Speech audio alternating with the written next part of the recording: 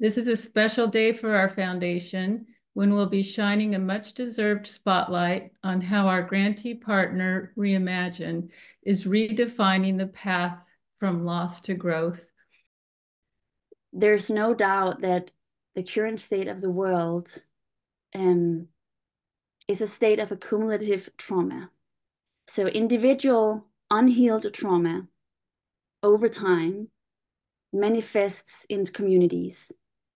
Unhealed trauma in communities over time manifests in forms of collective trauma.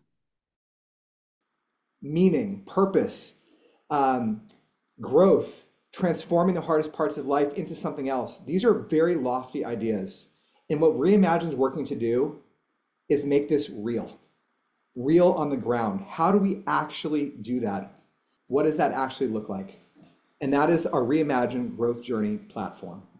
Its aim is to empower individuals and entire communities, specific communities, can use this platform to face the hard parts of life and create meaningful action and growth.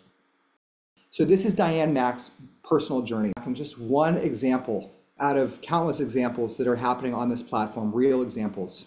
That's an individual example of what's happening, but we're talking about entire communities. And we have some pilot partners that are partnering with Reimagine to make this type of thing accessible to their communities.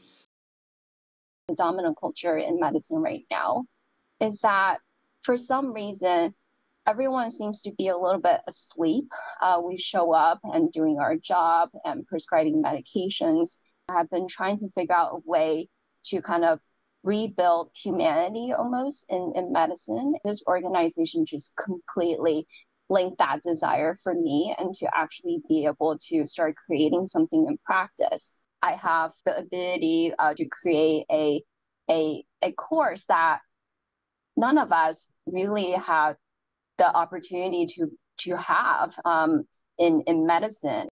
This collaboration has the potential to spark the transformative growth in helping end of life doulas turn that pain into purpose, that grief that we experience, and turn them into moments of connection and love.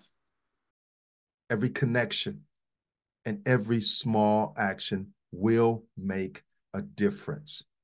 So see yourself as a part of this journey with us. And it's going to be an absolutely great journey